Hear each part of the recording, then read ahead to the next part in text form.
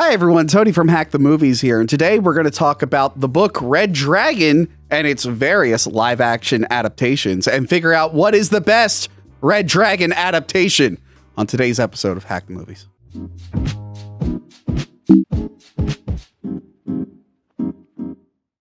Thanks to Helix Sleep for sponsoring this video.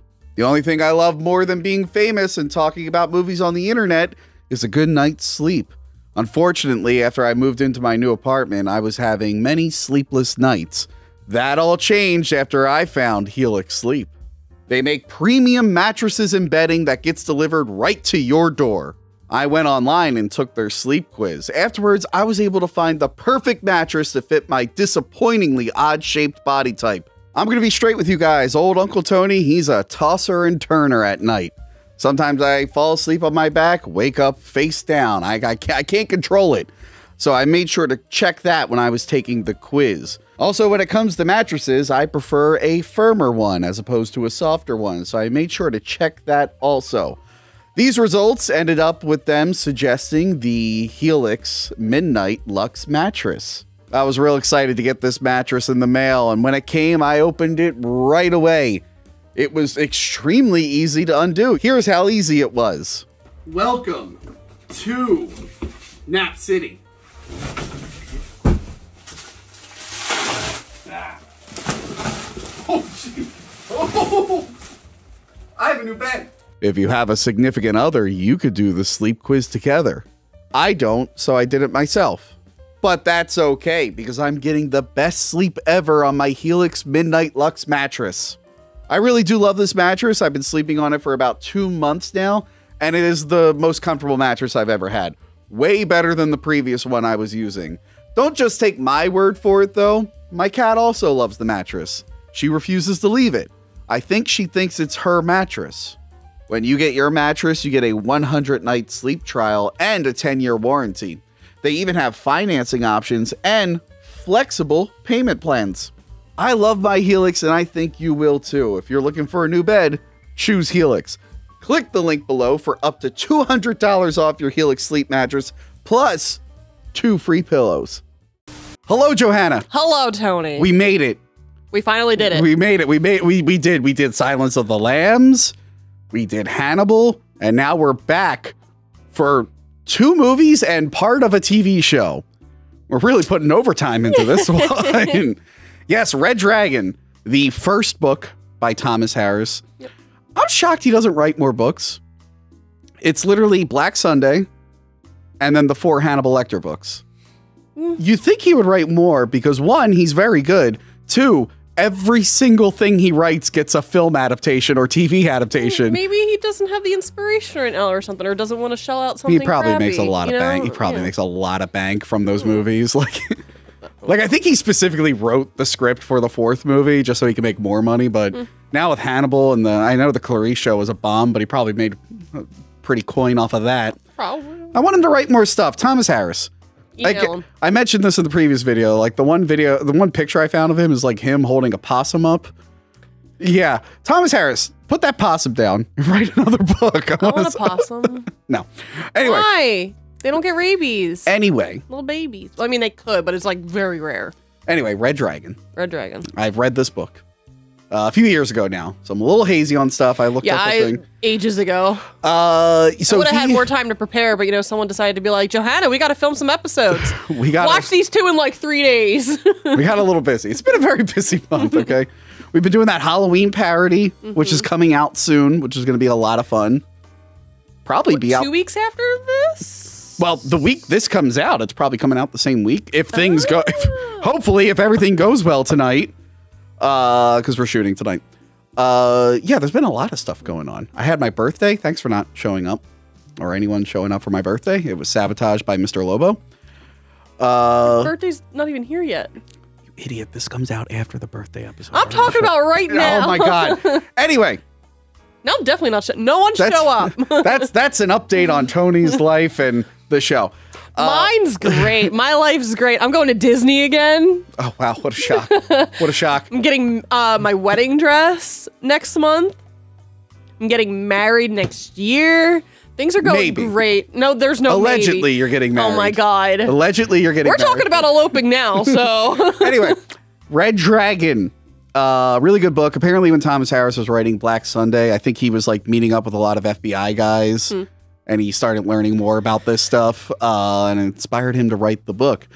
And uh, for those of you who haven't read the book, I did this in the Dune episode. I'm like, let me give you a quick breakdown of the book before we get into the adaptations. It's a lot easier than the Dune book. The Dune book was actually really hard to condense, and somehow I did it. Okay, so the Red Dragon novel. Will Graham, who was scarred physically and emotionally when arresting Hannibal Lecter, is pulled out of retirement by Jack Crawford to investigate the Tooth Fairy killer, not to be confused with Darkness Falls, I was gonna say- which we already reviewed. I didn't- we, didn't, thought- we didn't plan that initially. Yeah, I thought you were either going to say Dwayne the Rock Johnson or Darkness Falls. uh, a man who has been murdering families and performing sexual acts on the mothers. Uh, Will reaches out to Hannibal for help. This backfires once he finds out Hannibal is in communication with the killer and gives him Will's address. The killer is Francis Dolarhyde, who was a victim of abuse from his grandmother and other family members at a young age. He also used to be disfigured. At some point, he became obsessed with the Red Dragon painting by Robert Blake. I think it's Robert Blake I'm pretty sure. uh, and believes he is becoming the dragon himself. He even gets a full body tattoo of it. He's not gay, and if a reporter calls him gay, he takes it very personal. Uh, Francis learned. we'll talk more about that in a minute. Francis learned how to process film while in the military, and then he got a job doing that in the states. There, he stumbles onto a romance with a blind coworker, Reba. This throws a wrench in his murder, family slash become a dragon plans. We've all been there. We have a plan. You're like, I'm going to murder this family. I'm going to become a dragon. And then some lady comes into your life, and you're like, oh, she's pretty cute. I, I guess I could murder the family next week and go on the date tonight. But anyway, Will finds out that the killer is using the family's videos to target his victims. They go to hunt him down, but he kills himself in front of Reba. Or does he? This was a fake out. Uh, and he attacks Will's family at their house, only to be shot by Will's wife, Molly. During the attack, he cuts up Will's face pretty bad. And that's basically the book. Yep. Not a lot of Hannibal in that book. Oh, well, it's the same for Manhunter. Yeah. Well, Manhunter had the appropriate amount of Hannibal. Yeah. okay, so the first movie is Manhunter. Mm-hmm. Uh, by Dino De Laurentiis. Uh, when did you find out this movie existed? Because this is kind of this went under everyone's radar. Um, not like recent, but maybe like high school time. So Okay. I don't know, between 2003. uh, I didn't know it existed until I saw this, not this, this same type of tape. Uh, I bought this a few years ago, but I remember being in a Rite Aid, I think, and they had this tape. And I'm walking by and I'm like, oh, Silence of the Lambs. And it's like Hannibal Lecter's Legacy of Evil begins here. And I'm like, I'm sorry, what? Uh, they put this out in 2001. So this is right after Hannibal came out and a year before Red Dragon. Yeah. So they're definitely like, it's definitely one of those like, let's repackage this movie to make it seem like it's a part of this. Um, I bought the tape. It didn't work. It was broken. Amazing. And then I rented it from Blockbuster, the DVD, and I watched it. And I really, really, really liked it. It's good. It's good. Uh, directed by Michael Mann, uh, who is no stranger to crime dramas. Uh, let me see here. He produced the shows uh, Miami Vice, uh, Crime Story. He even came back to direct the Miami Vice movie in like the 2000s. Um, yeah, it's really good. Uh, it was going to be called Red Dragon, but I think Dino De Laurentiis he put out a Mickey Rourke movie called Year of the Dragon or something, and it bombed. And he was all like, "Mamma mia, no a dragon in the title. You called a manhunter." Ah, uh, but but that's what he did. Let it go, You and your Dino. pasta face. I talked about that. Oh, by the way, Tab Show. Here's what I don't get. It's not canceled. Oh. It's continuing. I'm now one of the rotating guests, and I brought in my Pasta Face as my problem. Tom Hanks as Geppetto. God damn you! But we're not here to talk about that. But you came out on Twitter recently saying that you're not actually Italian. That was you hacking I don't me. know what you're talking. I'm not hacking anything. The first, the If someone just leaves their screen up as soon as and I see Twitter sitting there, I'm just like, hmm, let me know how that let me know how that defense works up in court. okay. Anyway, You're like, hi, I'm a high ranking member of this company and I have access to this Twitter. Why can't I say anything? anyway, uh, David Lynch was set to direct this. God damn, would I have loved that? Apparently, he thought it was too violent for him. It's like David Lynch, you? I mentioned that in another episode. Of like, this was too violent Yeah, for this? David Lynch, you've shown me some of the most horrifying imagery in your films. that was '86. I guess it was a different time. Um, you say so. Yes, uh, one of a lot of people auditioned to be Will Graham in this, but uh, one of my favorite thing that I found uh, was Timothy Dalton was going to be Will Graham, Huh. and then he was like, "Wait, James Bond's available," and then like he went and was James Bond. Very underrated James Bond, I think. Timothy Dalton. Yeah. Not so much his first movie. I like his second movie, but anyway, the cast for this is William Petersen as Will Graham, who went on to CSI fame, right? He's CSI, And right? he's in fear. Oh yeah, Marky Mark. He's the dad in Fear, Mm-hmm. isn't he? Yeah. Uh, Tom Noonan as Francis Dolarhyde, who we talked about in um, the last Action Hero episode. Uh, we are also going to be talking about him later on in October for Monster Squad. Uh, and recently he was in a movie called House of the Devil by Ta- not recently, like House 10, 10 11 years that ago sounds super familiar. by Ti West, the guy who just did X and Pearl. It's one of his early films. I need to see Pearl. He's the bad guy in uh, House of the Devil. He's really good in that. I really like Tom Noonan. Uh, Brian Cox is Love Brian Cox. Hannibal Lecter spelled L E K T O R, but the but the the VHS has it spelled the way it usually is to cash in. Um, Where's Brian Cox from? X Men Two, And other stuff. Trick or Treat. You should check out That's that episode. That's right. You should check out the. I think it's still not monetized, so I mean, Whatever. uh, you know, if you don't watch it, eh, it's fine. But Uh, we should do X2. No, you know what? You know what? Listen to the Trick or Treat episode and watch it on Odysee because those two platforms are still monetized for that particular episode. YouTube, ah, skip it. Anyway, uh, watch an episode that's monetized, most of them. um, yes, uh, Brian Cox as Hannibal Lecter, Dennis uh, Farina as Rest in Jack. peace. Oh, he died?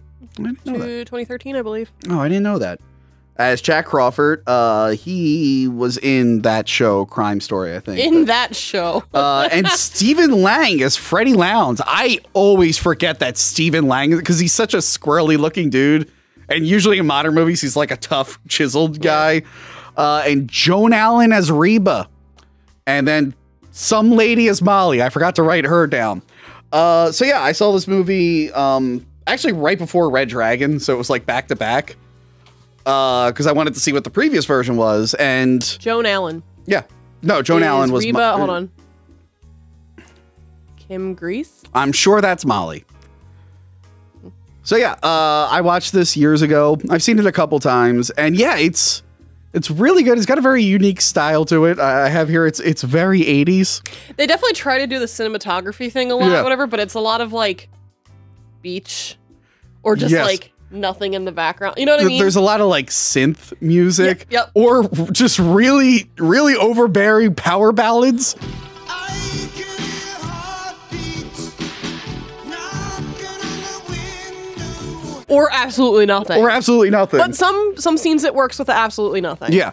But then there's like, you're right, there's scenes where like you got these deep blues, and then Francis' house is all neon and weird and spacey. And then you have like Hannibal, it's just bright white. Yeah. uh, yeah, there's a lot of creepy imagery, uh, a lot of slow mo dream stuff in it, which I appreciate it. Um, I do want to say there's an effect later in the movie where he's like, because Will Graham has that imagination projection thing, and he's like hallucinating the dead woman in the bed with mirrors in her eye. And I don't know how they did that effect in 1980 something, but it's like haunting. It's like terrifying. like that image, like is real creepy because she's like moving with the mirror. Yep. I don't like it. I don't like it.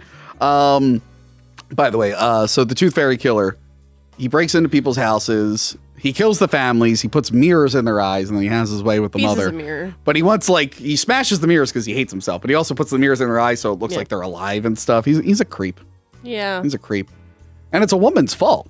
His grandmother and his mom. They don't touch on that in the movies, but in the book, uh, well, the, the one movie they do a little bit. Um, yeah, but getting back to uh, very very 80s. At one point, uh, you know, Will wears tiny pink swim shorts. not a lot of not a lot of male heroes wearing pink swim shorts. It's fine. It would be a comedy. Like I can see someone in a Marvel movie wearing that as like a joke, but like Hmm. you can't really. I love the 80s and 90s where you were allowed to do that. There's like an X Files episode where like Why can't you do it now? You could do it, but it'd be like a joke for some reason. It's clothing. An example. Early 90s, there's an X Files episode where David Duchovny is swimming in a red Speedo. Mm. And it's just a completely normal scene. And he's just wearing this tight little red Speedo. And the X Files revival, the one good episode, uh, guy's s- peeking in on Mulder in his bedroom and he's wearing the original red Speedo. And it was treated as a joke. For some reason, red Speedos are jokes. You're saying that they shouldn't be treated as a joke. Yeah. So if I wore them in an episode, you would not laugh. Uh, I'd be very uncomfortable because I don't want to be near you in a red speedo. But you can do you. It's a manhunter.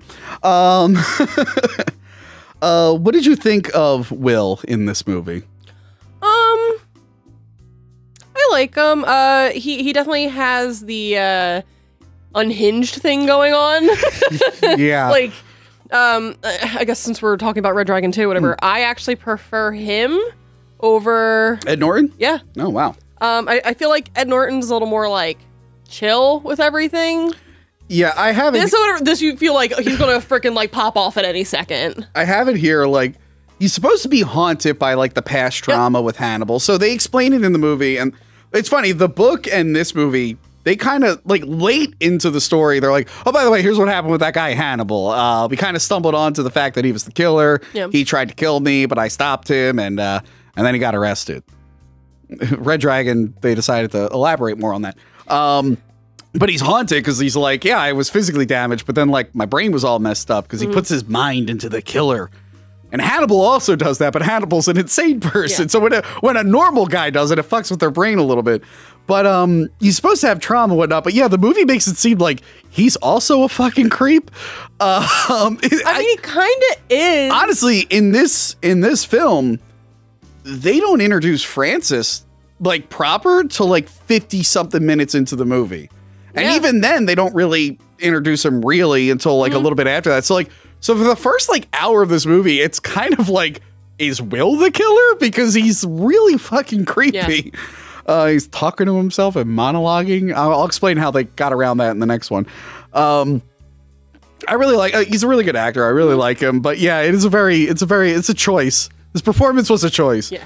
Um. and he's more unhinged than uh, Brian Cox's uh, Hannibal. yeah. Brian. All right. So Brian Cox's Hannibal is pretty nonchalant. He's chill. He's chilling.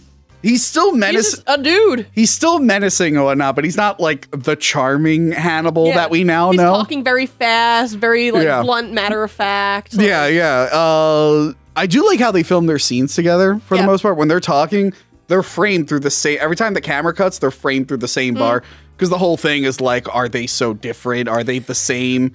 Which the book uh, plays on in the TV show. Heaven, like the, the TV show. I really need to watch everything. The With the TV show, show like made so that good. like the theme of the fucking thing.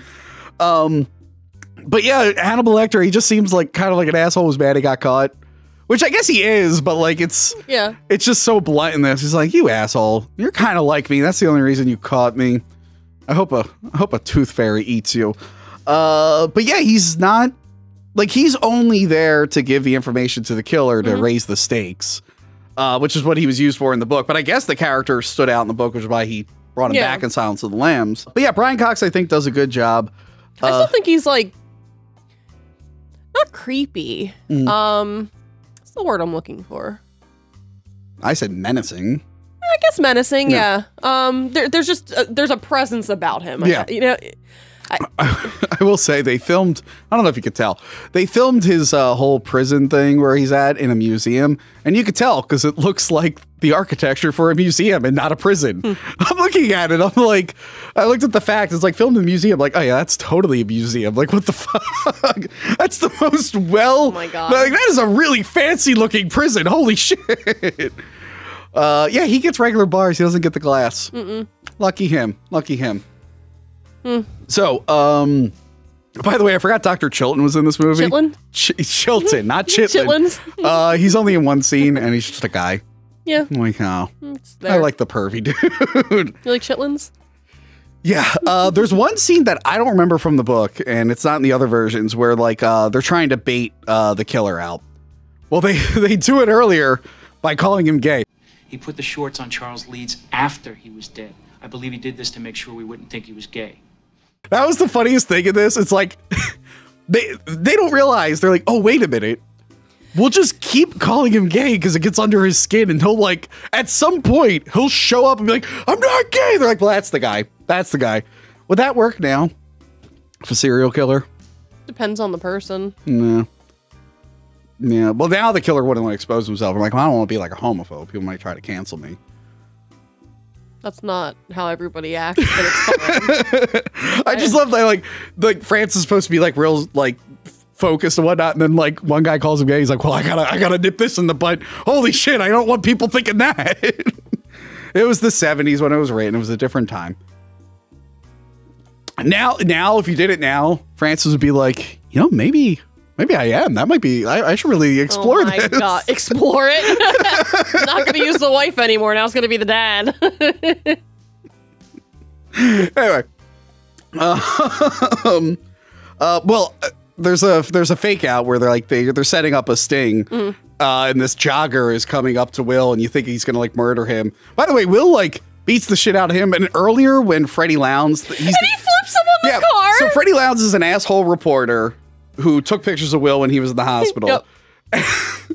And when he like confronts him again, Will flips him, Dude. shatters the car, breaks someone's I'm not, car. I'm not kidding. When I watch that, no, I'm I'm bursting out laughing. It- And then, and then you see in the next movie, he's like, "You're an asshole," and then he walks away. I'm like, "Oh wow, this Will's a little bit more restrained."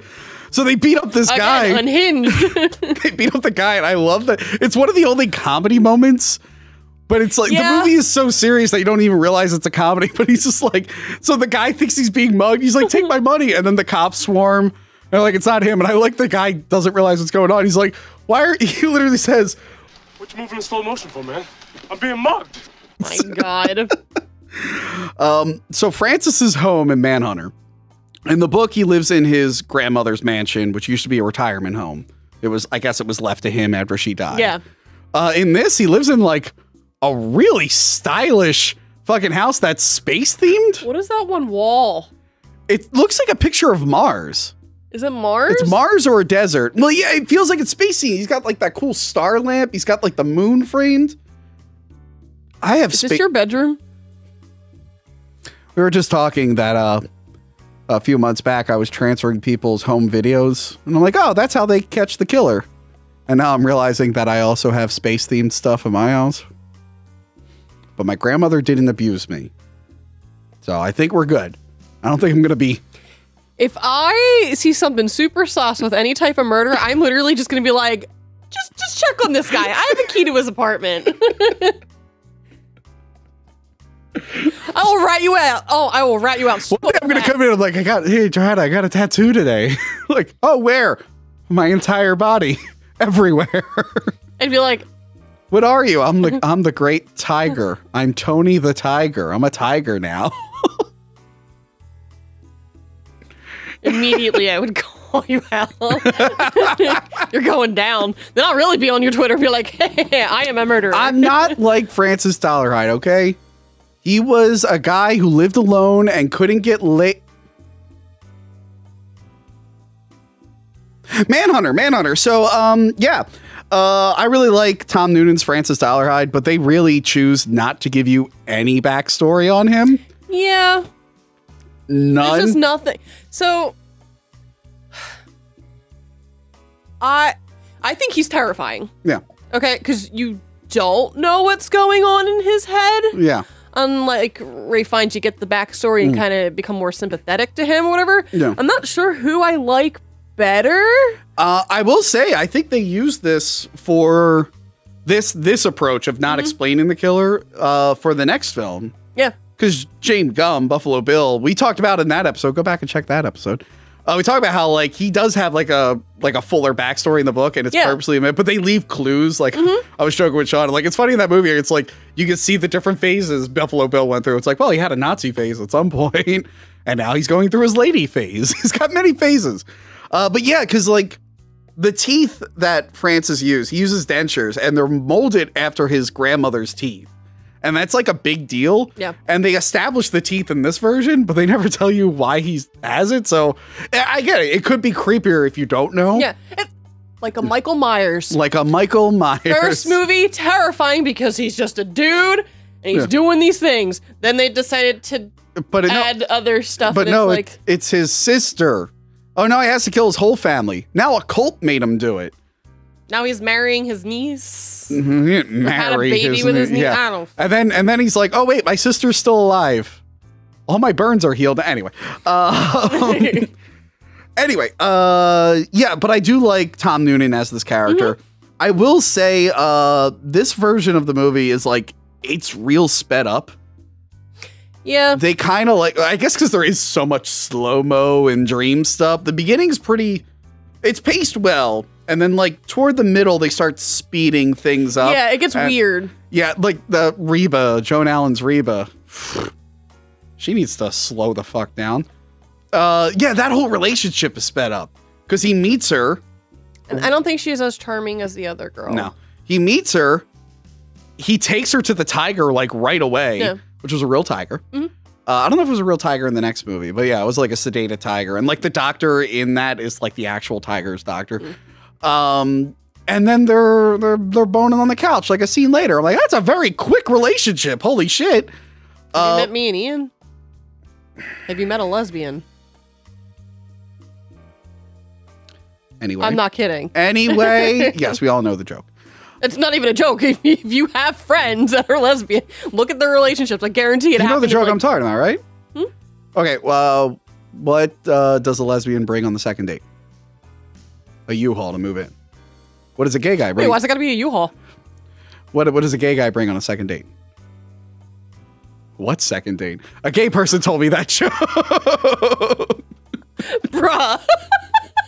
I think I think uh, Rosie O'Donnell did that on um. She definitely used the U-Haul joke on Curb Your Enthusiasm. That's actually really funny. Wait. it's like Home Depot. Yeah. Wait, there's a whole there's a whole season where uh Rosie O'Donnell and Larry David are after the same woman. anyway. um yeah, it gets really really sped up the whole relationship and then the third act like changes everything. Yeah. There's no going to Brooklyn to hunt down the the red dragon painting. Uh there's No, no a lot was left out. there's no fake out ending with the faking of the death. Dude, it just is so turned good Red Dragon. yeah, it just turns into like it's the 80s. They shoot them a lot. Yeah. But set to the song In-A-Gadda-Da-Vida.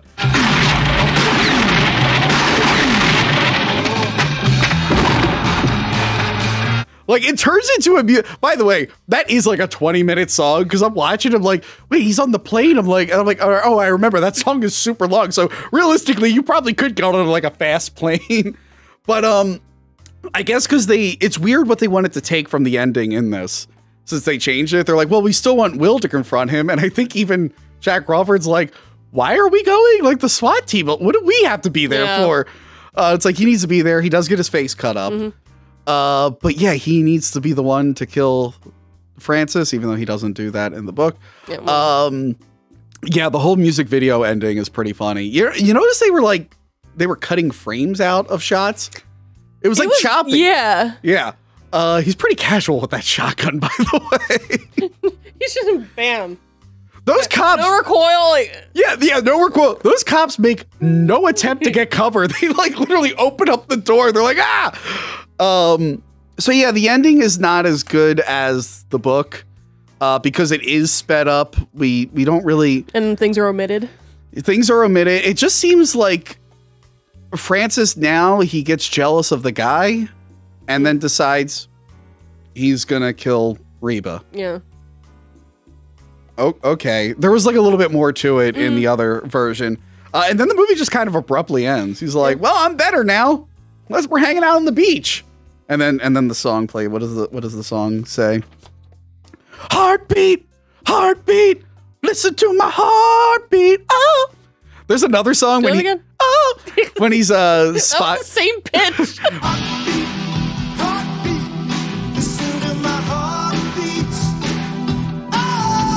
when he's spying on Reba, there's that song that's like strong as you were joking about the 80s song. They're so overbearing. not enough power ballads in the rest of the Oh series. I think we need more power ballad.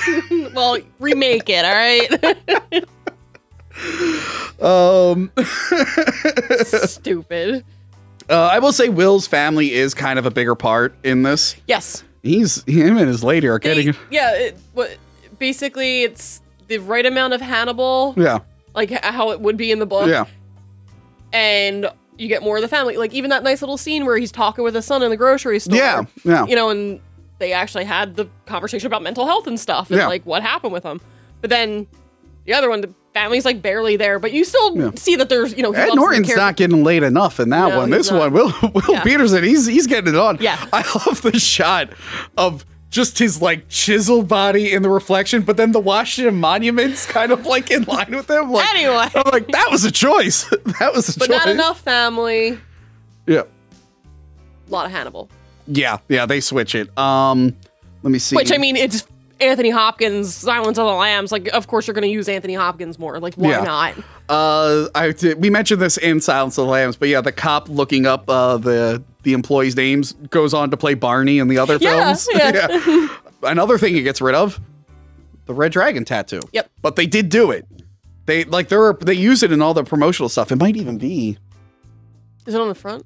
Or is no, no. There are covers where they have it. So they actually did do. It's interesting. So there's two paintings that are the red dragon and the women clothed in sun. One is a front angle and the other is a behind angle. This movie uses the front angle, and that's the one that they had painted on his chest. It was like a whole. It's thing. like the curly part, right? yeah, and then uh, apparently Michael Mann, they just thought it was too much, and they decided just not to include it. The point of the. him because I guess they were like, well, I mean, if they're getting rid of like the grandmother backstory and stuff, then I guess they thought it was just explaining too much. Um, uh, but I will say though, we mentioned it in the Hannibal review, but me and Trisha reviewed a movie called Dario Argento's Opera, and that literally uses the end of the man, the Red Dragon book. Where the killer fakes his death with like a, another body and then comes back to attack the person and then gets killed. That's actually really funny. Dario Argento plagiarizing. As far as I know, got away with it. Some people get away with it. Can't all be winners. Some other people can't get away with it. Anyway, the, the the the Patreon is where you can find the review of Dario Gento's opera. Uh, it's a very fun episode. Anyway, so yeah, the overall Manhunter, I think it's a fine film. It's very stylistic. It's very dreamlike. It's good. I think I would have liked it more if Michael Mann did it like five or ten years later. Like post Heat, Michael Mann, I think really would have like nailed it because this is like this is like an early film for him. yeah. Uh, but other than that, yeah, it's good. Um, I don't think I would go back and rewatch as much as other movies, but if I see it's on or something. Mm-hmm. yeah, uh, it does it does have third act issues where Mm-hmm. they just speed everything up and just ends on a shootout. I mean, it's an awesome shootout, but it's just kind of like oh, the bu- the book was a little bit more than this. Uh, did not do well. Mm. Even even maybe they should have called it Red Dragon. Maybe it would have done well. Uh, did not do well, and we explained in our Silence of the Lambs episode that that movie decided not to reference it, and that movie is not a sequel, even though it's based off a sequel. Uh, but yes, years later, after Silence of the Lambs does super well, and Hannibal really divided audiences, we got a review of that. Uh, I personally like the film. I like Hannibal. uh, but it was still did really really well. They're like, well, we can do a third It's one. Anthony Hopkins. They're like, we can do a third one. There's still room for more. And uh, Silence of the Lambs and Red Dragon are kind of similar. Uh, whereas Hannibal is Thomas Harris being like, I don't care, whatever. An eel goes up a guy's ass or something. Uh, no, no, no. The eel goes down his mouth. They shove the they shove the rod Yes. up his yeah. Anyway. to Red Dragon, 2002, I think. Uh, 2002. Directed by Brett. What you got up here? I didn't even. It's an Entertainment Weekly from when it came out. Oh, this is actually a really good like condition. Yeah. I have a lot of my old Entertainment Weeklies. I don't know why. I put them around the set. 350. Oh my lord. Yeah. Um, came out in 2002, directed by Brett Ratner. Allegedly did some things. Allegedly. Allegedly. Who did the music? Danny Elfman. Yeah. Yeah. Who did the one in Manhunter? Was it? It was. Do they not have music? Sons of bitches. They don't have music. Oh well. Put the name up there, Jess. Um, So yeah, so this is after you know Hannibal divided people. They're like, hey, let's get back to basics. We'll do this prequel because prequels are the thing now. Thanks, George Lucas. Phantom Menace episode, um, which we love. so we good. love that movie. It's a great movie. We love Phantom Menace. It's great. Jar Jar Binks is in it. That's right, and Hannah Sith Speeder. Uh, now, Sis Speeder. so they were writing this movie. Apparently, like they couldn't get people to really sign on until Ted Tally, who wrote the first movie, came back to write the script. And then people were like, "Okay, we'll come back if that guy's on board." Because like the previous movie, they're like, "If it's gonna be like that, we're out. We're out. I'm not doing that." Uh, this time, Ed Norton as Will Graham. Yep. Anthony Hopkins returning as Hannibal, a younger Hannibal who looks older. This before they could It's, digitally. fu- It's, before they could digitally It's de-age. It wasn't that distracting. He did lose like 12 pounds for the role, Mm. but like when I'm looking at him, like, and then watch Silence of the Lambs, like, worry, it's fine. should I aim It's- for it's fine. 15, It's fine. 15, it's 20? Fine. It's anyway, fine. uh, Ralph Fiennes, is Ralph Fiennes Ray, Fiennes. Ray Fiennes as Francis Dolarhyde? Harvey Keitel as Jack Crawford. They couldn't get Scott Glenn back for Mm. some reason. Uh, Philip Seymour Hoffman, the late Philip Seymour Hoffman, He's yelled as, at you on the phone before. He has yelled at me on the phone before as Freddy Lounds and Mary Louise Parker as Molly. And I forgot to write down who who plays Reba. It's God damn it.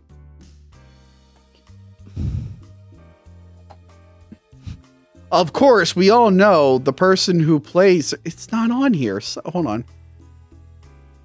It's not on here. No. Of course, that lady that we all like. It's not. Emily Watson. Oh, that is her. Huh. Where is it? It's on the phone. Oh, You told me no. Oh, I'm okay. right again. Emily Watson. I'm, I'm gonna knock it. Emily, Emily Watson plays Ariba. Uh, Mary Louise Parker as Molly. Uh, they really played up Hannibal's importance in this story. Starting from scene one, we had heard in the previous film that he killed a, uh, one of the flutists for a uh, symphony. Yep. Benjamin Raspail, which apparently is a popular name in the, ha- the Hannibal universe because that's also the name of a guy's head that they found in the jar. That's what I, you really should watch the previous movie and take notes before you write the sequel. But anyway, Fine, it's fine. uh, they actually show him in. I do like him in the symphony, like just cringing at the guy's flute. He's like, "Oh god damn it!" They show him feeding Benjamin to the uh, the rest of the board, um, and then they they actually show the scene of Will like confronting. I think it's a pretty good scene. Uh, I do like. He's just like, "How did you not think about this, Hannibal?" And Hannibal's like, "I don't know." I don't know. I was working on my ponytail. He had a ponytail. That was very, that was very upsetting. Why? I don't, Know, I don't even like the ponytail. You were you to judge other people's hair. Just, I didn't picture pre-jail Hannibal rocking a ponytail. Whatever. That's it's, all. it's fine.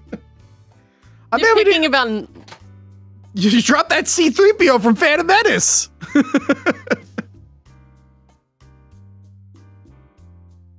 All right, put it down.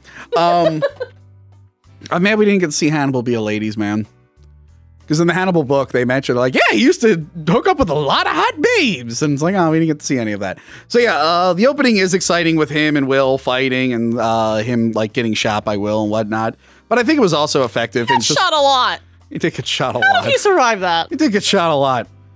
I don't know. Look, Brett Ratner, he was high off those rush hour movies. He's all about action and and uh, outing people apparently and doing inappropriate stuff allegedly. Allegedly, uh, enough to make Warner Brothers sever ties with him. Um, that is the They thing. keep other people though. The thing is, Brett Ratner is not known for being a great filmmaker, and this movie's really good. And it's like, well, yeah, he, he just he had the blueprint from Michael Mann, a talented filmmaker. I'm like, I could have made a good remake of this if Michael Mann was the previous guy, and I was allowed to do every almost everything he did. He had a blueprint. The script is similar enough. It's like it, it was really hard to Yeah, fuck. d- d- have you seen the two scenes with uh when he goes to talk to Hannibal in his cell? Yeah. If you like put, pair them Yeah. together, it's maybe like two or three things change, whatever, and it's mainly like the wording. Yeah. Well, a lot of the dialogue is from the book, so it's just like that was the thing. People are like, "Why did they get Brett Ratner to do this?" It's like because literally anyone could have done this with this book and this script. Anyone could have done it. Um, but no, I think he does like a uh, fine job. Uh, it has a really good opening with like the Dolarhyde's book that feel, gets you up to speed. I thought that was really cool. Danny Elfman's score is good. Yep. Um, they don't go into the specifics of Francis's backstory. but they give you enough. Like Yeah. you get the creepy grandmother. You you get enough of that. You know who did her voice? Ellen Burstyn. Oh, Shut up, you filthy little beast. I should have put you in an orphanage, grandson or not. from The Exorcist and other films. Requiem for a Dream. That's another film. What else is she in? Oh, a movie. Jared Leto's Soundtrack's in, really good. Jared Leto's in that movie. Anyway, uh, yeah, Ellen Burstyn is the uh, voice of his grandmother in the flashback, and she like tried to chop his dick off because he wet the bed. Yeah. Take him to a doctor. Some some people have ur- urological. Mm-hmm. Mm-hmm. Yeah, Some people have issues. Don't don't threaten to cut their dick off. That's gonna make things worse. The kid's gonna end up being a murderer. Uh, in the book, he like he gets all like messed up and he like slaughters like a chicken house. Like he goes into like a chicken coop and just slaughters the chickens and whatnot. He's a little messed up. And then he lives with his mom afterwards, and her new family's like kids like mess him up and beat him up and shit. Mm. Poor Francis. He eventually joins the military and then gets discharged honorably, though. Mm. Uh, they leave all that out. There was going to be another voice in this. Yeah. Uh, you were actually going to hear Francis talk to the dragon persona, and they actually recorded it, and it's Frank Langella. Huh. And you can see the deleted scenes of it. They tried it like multiple ways, I think. I think they tried Frank Langella, and if I remember right, they did one where he's talking to himself. Uh, and in the end, I think they nailed it. They're like, it's actually creepier if there's no voice. Yeah. So it's actually cool to see like Francis like reacting to things that you can't hear. I actually like that a little bit more. Um yeah, he's a little bit truer to the book uh because he does live in the the family mansion. He is jacked. So in the book like Francis is jacked. They make a point to say like he could be a bodybuilder in his 40s if he wanted to. And Tom Noonan's tall, but he didn't look jacked. Yeah. He, he looked lanky. Yeah, and Ray Fiennes, Ray Fiennes looks really good at this, but he's still not like he's in good shape, but he's not bodybuilder. You can see his dick flopping around. I thought that was funny. We all laughed in the theater when that happened. Of course you did. I saw this in theaters when he runs up the stairs. You see his dick flopping around. We're like, me and my mom were like, ah! It's just the penis. It was just fun. We didn't expect to see it though. That was the thing. Because movies always hide penises. We should see more. It- it's a double standard. I feel. We should see more. We should. We should. Um, you know the movie I'm working on? Gonna add a lot of penis to it. Who's? It's not cast yet. Can I cast? And part of the casting stuff, whatever we can have him show. I'm kidding. I would not do that. Oh Are you going to be a Brett Ratner? Yes. Apparently, Brett Ratner like took pictures of Brendan Fraser and like didn't tell him he was going to use them in a book and didn't get his permission to use them in a book. Brendan Fraser feels like really misled. That's a little weird. Why did they torture that poor man? Oh my god. Leave him alone. I need to see that new movie he's in. Hmm? Brendan Fraser, the the whale. Oh yeah, yeah, I hear that's good. Um, Will Graham, uh, I think is more likable in this version. You prefer the insane Will Graham. yeah, I like the unhinged. Yeah. Uh, I think that was like a choice. They're like, can you not play him like a weirdo? And they make sure to have him talking into a recorder Mm-hmm. because the Manhunter one, he's just talking out loud. Yeah. He's like, you son of a bitch, you touched, her, touched her, didn't you? yeah. I'm gonna fucking. You took your gloves off and you touched her. Could you imagine like someone walking by, like, hey, Will, are you okay? What's going on? But no, they make sure he's like, no, he's not okay.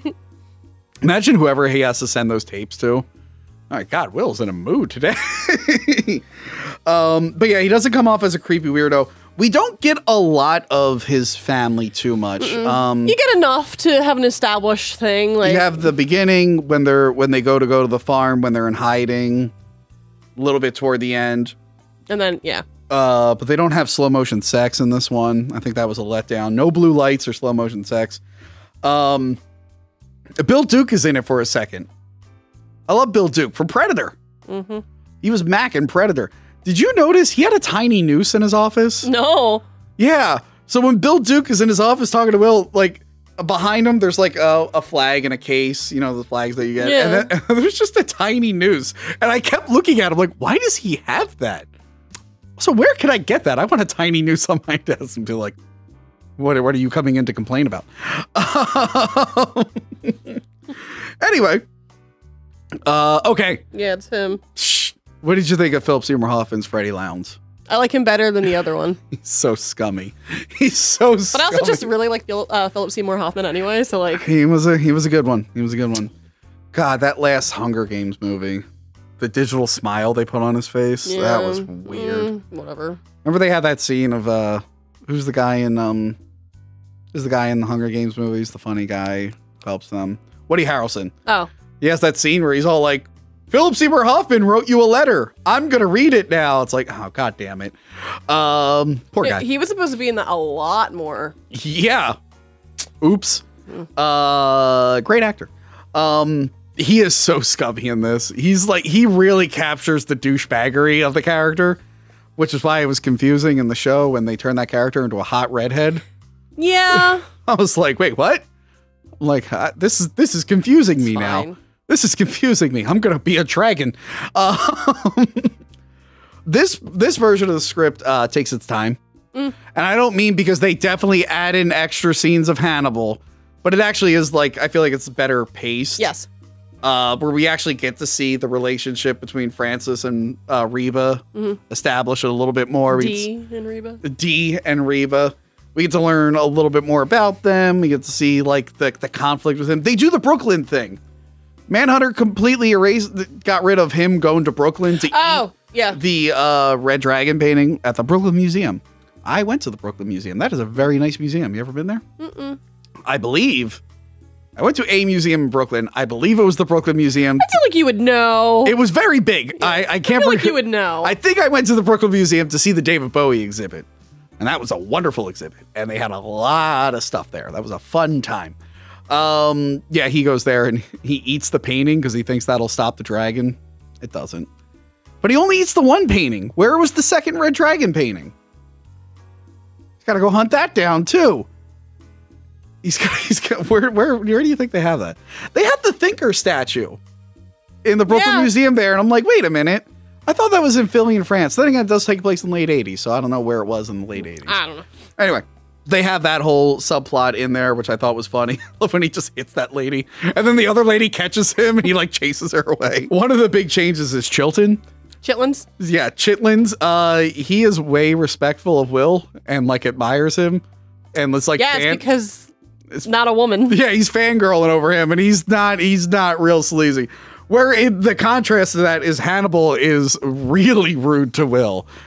he's just like he's. he's I do like the difference in the scene where like uh Will first goes in to talk to him in the uh, Manhunter Mm-hmm. and already just looking at him, having the conversation, whatever. Yeah. In this one, Hannibal's just like, I'm gonna lay on this bed, not even really acknowledge your presence, whatever, but I'm still gonna talk to you and everything. Eventually I'll get up and I'll do my thing. But, But, but, it's, but it's funny, you know, it's typical man. A guy shows up wearing something. He's like, oh, that smells like shit. A, an la- Axe a- body a lady shows up. He's like, oh, you, you're wearing this and this and blah, blah, blah. It's really nice. Typical man. A lady I like, I'm like, oh, you smell really nice today. I don't know what any Why guy are you I. smelling women? they wear a lot of perfume. They? yeah. They usually do. I can't smell you right now. Um, let me see here. Yeah, so they add more of him. Uh, do you like his exercise leash? I do actually. You know what's funny? He can like lean forward. Yeah, you know what's funny? Uh, airplane. Whee! I was reading, they mention this character in Manhunter. They mentioned him in this, but I was reading they gave a lot of his dialogue to Hannibal. Uh, the character Dr. Bloom is left out of both of these adaptations. And then and then you get to the Hannibal TV show where they're a major Yeah. character and turned into a woman, woke. Um so I thought that was pretty funny. I'm like, wow, didn't make it into either of these. And then it's like, oh, now they're a major character. Um yeah, overall, I think the movie is really, really good. They do the red dragon tattoo. Apparently, took eight hours to apply. Oh wow. Jesus Christ! Uh, and they use the book ending, which I remember. I, at that point, when I saw it in the theater, I did not read the book, and I had only seen Manhunter, so I was expecting the same ending. Were you like blown away? Yeah, I was like, oh shit! and then they realized that like, oh yeah, that's the other dude he already shot outside. By the way, and I that is a change because in the book he does kill that guy, but he kills some random guy at a gas station and uses that body. I actually like the change that the movie did where he killed the guy he was jealous of. I'm like, that's pretty funny. That's, That's pretty funny. Although someone should have been. I think the problem there is like those are not the same people. those are not the same body type. Uh, but yeah, I really like Reba in this one. I really like she's like you really connect with her and whatnot. Um, we were talking about Francis. If this this took place today, and this is the problem with the Hannibal TV show, he would clean out like he's got a scar, but it's fixed. It, depending, I mean, it's there. But yeah, but depending on what version he is, he's either really tall. I actually, as hell. actually, in the book, I think he grew a mustache to cover it up. Uh, he's either really tall Or or, like really in good Fine shape and looks like a Harry Potter character. And women love that for some reason. So, like the Red Dragon today, he'd be like, "Oh, I'm such a loner. Oh, I'm gonna be a dragon." And someone's be like, "Hey, get on Tinder." And he's like, "Oh my god, that's all these people with Deathly Hallow tattoos are following me." Oh my god, wait, scalies? Oh yeah, Jessica. Jessica, please Photoshop Francis Dolarhyde in a in a dragon furry costume at a furry convention. he wants to be a dragon. He could have been a dragon. We could have saved Buffalo Bill too, because there is the alt fur community. Jessica, please Photoshop Buffalo Bill into an alt fur picture. Oh my god. What would Hannibal be? Hannibal would be doing mukbang video. Jessica, please Photoshop Anthony Hopkins Hannibal into a mukbang video. Anyway, uh, we saved it. We saved all those people. we found them hobbies that are normal. Mason Verger, we can't help. Mason Verger, Mesa, Ma- Mason Verger, uh, uh, he's yeah, uh, uh, he's he's good. Yeah, well, we'll we'll we'll circle back to him at some point and try to help him out. yeah, anyway.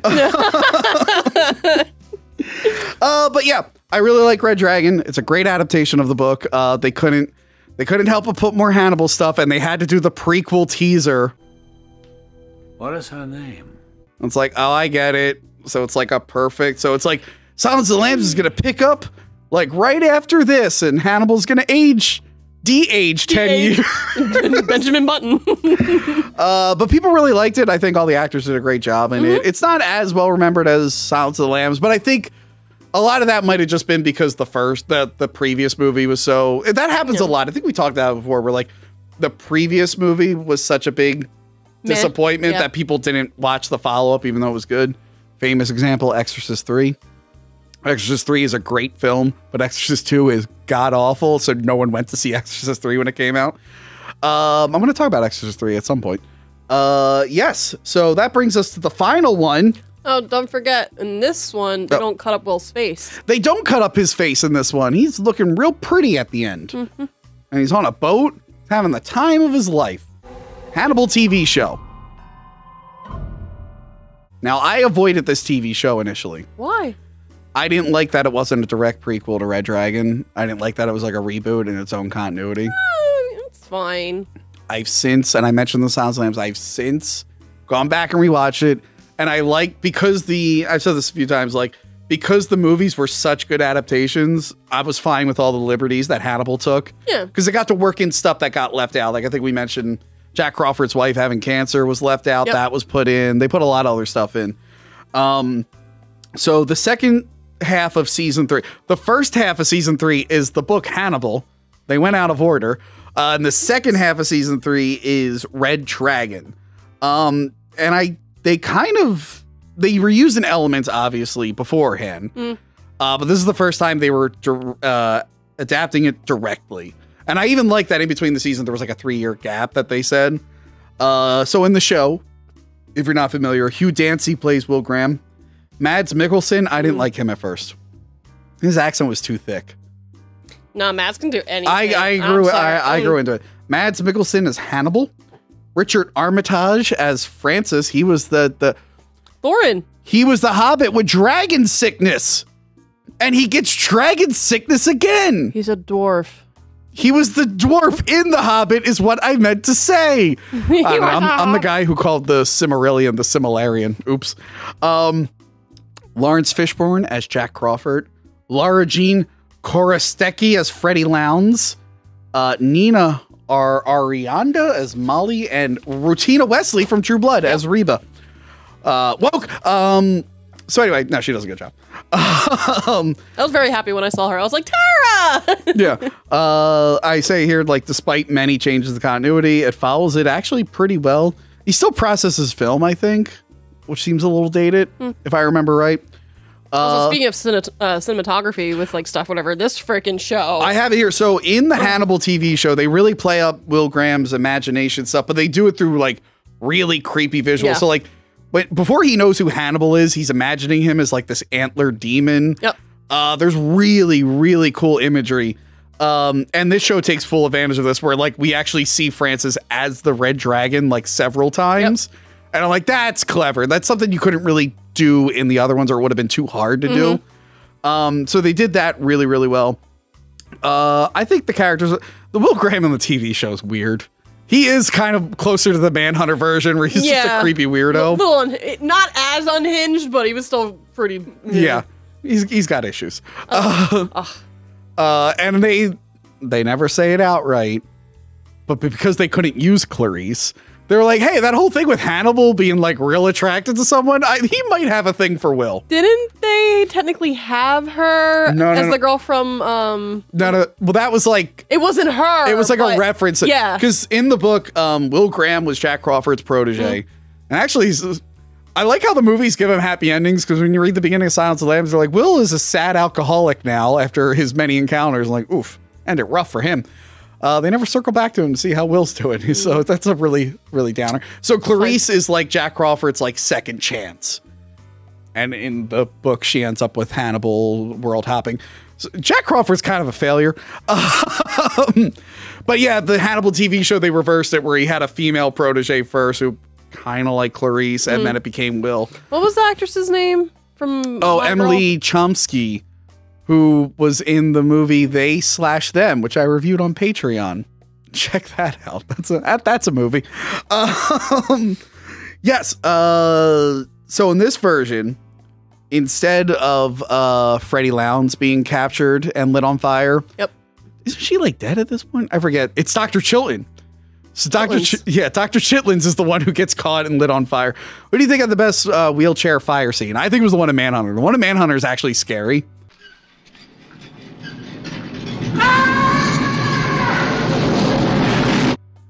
Yeah. because it's like because they kind of like Exorcist three. They do the thing where it's like a long setup, and Yeah. the security guard looks back and he's like, huh. And then looks back, and then it comes right at the camera. Whereas Red Dragon, it's funny. You see a guy, he's like, huh, what's that? And you just see Seymour Hoffman, like, ah! um, that's like a whole thing in the book where they analyze the wheelchair and they're like, where'd the killer get like a wheelchair from the early 1900s? What the fuck? And it's kind of leads them on to Yeah. where he would be. Um, yeah, what did you think of Richard Armitage as the dragon? He's fine. I think it was okay. I like his voice. So I like his voice too. I actually really like what you said about the creepy imagery and whatnot, but I like how when he's calling Hannibal on the phone, they like they like hallucinate that they're in the room together. I thought that was really cool. Uh, they changed a few things around where like Will is the one who tries to convince Francis to kill Hannibal. yeah. Yeah. And then at the end, it's like it's pretty accurate. And then at the end, it's like, oh, we're just gonna fight him at a beach house. Like, oh, that didn't happen anywhere else. Will gets fucked up in that one too. Uh yeah, so they kill him. Uh, and I do like how he has dragon wings when they're slicing him up. Yeah. Uh, and then they uh, Will attempt to do a murder suicide with Hannibal. They're like rubbing on each other. Know, he pulls them off a cliff and they die, but it's implied that they might not have with the teaser at the end.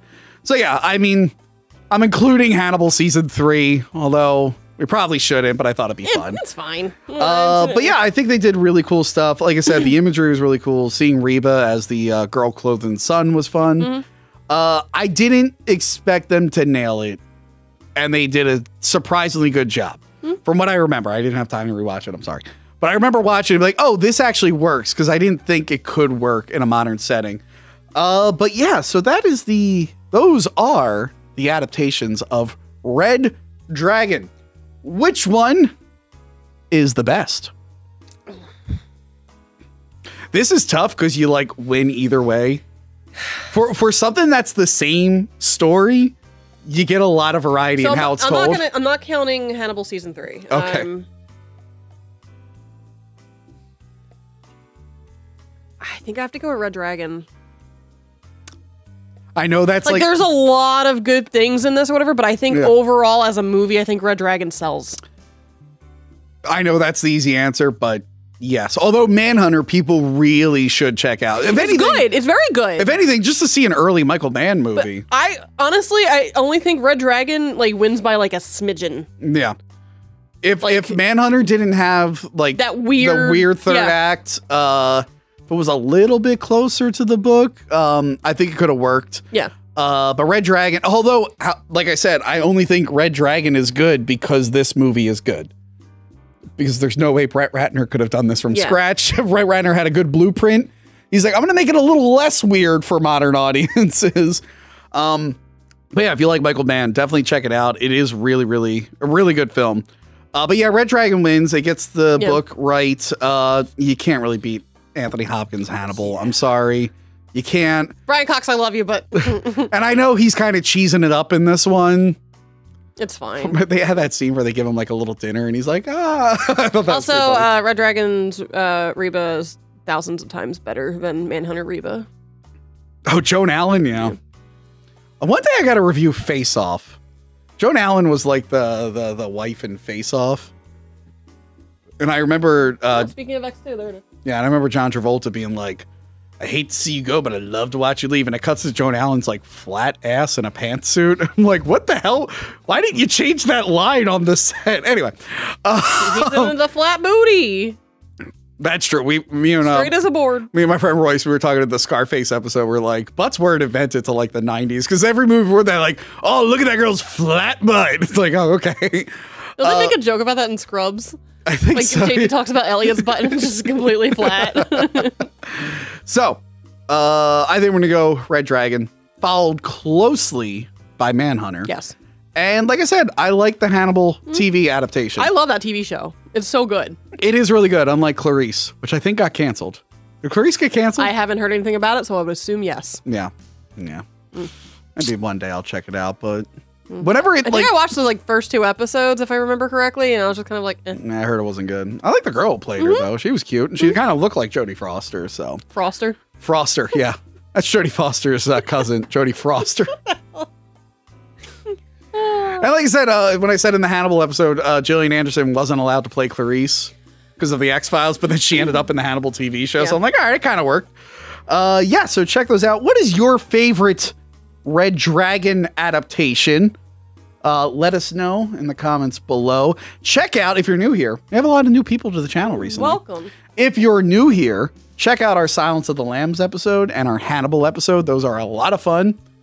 Uh, Hannibal's a lot of fun. We had Trisha on here uh, talking about Italy and whatnot. That was that was, that was a good time. Han- uh, Silence of the Lambs was great. I called my mom during it because you apparently have a problem with our relationship. Uh, how we bonded over these wonderful films. I never said that at all. I said the age was a little. Eh. well, we all can't have perfect mothers like Johanna. My mother's an alcoholic. That's not funny. You shouldn't laugh at that. I'm laughing through the pain, Tony. She back in the wedding this week? It varies week to week. Is she back in the wedding? For Is she, now. she still my date? She's still my date. She's really going to be your date. I don't have a wedding date. I might have to take your mom. Uh, Anyway, like, share, and subscribe. Uh, please check out the, those Thursday bonus videos I've been doing. They've been a lot of fun. Check those out. Uh, follow us on Patreon. We have a lot of content on Patreon. Like I said, we've been working on this Halloween parody. And as of right now, we still have more filming to do, but as of right now, the behind the scenes vlog is like 20 minutes long. Uh, we had a longer than the show. longer than short. Uh, the behind the scenes vlog is a lot of fun. Uh, you guys are Yeah, I love that one scene of me and Ian, and I just we just both piss you You guys, off. you guys are really gonna like the behind the scenes vlog on Patreon for how we made that. Uh, we got our ten dollar tier where I do exclusive streams and we give away exclusive uh, wallpapers. We are going. One day I'll be in a wallpaper. You were. You were in the Thor one. You were Lady Thor on the Thor wallpaper. I was real Thor. It's Mighty Thor. no, I was real Thor. you were Lady Thor, and then Crystal was Sif. I know it was Valkyrie on the poster, but Yeah. yeah. you can replace a redhead. You can't you can't go the opposite way. Hollywood just deemed it that way. Uh yes, check those out. We are gonna be at PhilaMOCA on October 22nd, the weekend of October 22nd. Put the date down there. We're going to be at PhilaMOCA for the uh, Crypt Video Rental uh, convention. Shutter just I got announced as a sponsor. Just, uh, just looking at that list of like sponsors or whatever, I'm just like, yeah, look at so us. many, so Look many sponsors us. there. Uh, you know, you know what other show is going to be there? Movie dumpster. Movie Dumpster will be there. Uh, so check out Crypt Video Rental. It's going to be a lot of fun in Philly. I haven't been to Philly proper in a long time. Same. Yeah, I, I missed that place. Uh, other than to drive through to pick people up at the airport. I was debating going stalking because the love of my life is currently filming in Philly. Ian's in a movie. Natalie Dormer. Oh, not your fiance, right? Okay. I wish. Uh, so yes, uh, check all that out, and we'll see you all later. Goodbye. They're playing like Felicia versus Bishamon, and if Bishamon ends with a certain move, you just cut Felicia in half. Did you make sure to see Orchid's thong? Here's 30 more chances as she spins around. See, you've got the Batgirl shirt on, and you're wearing a Robin T-shirt. Batgirl and Robin to your Batman. And Turtles ha- is like Star Wars in the like Star Wars is a 70s thing that ran into the 80s. Turtles started in the 80s but really grew in the 90s.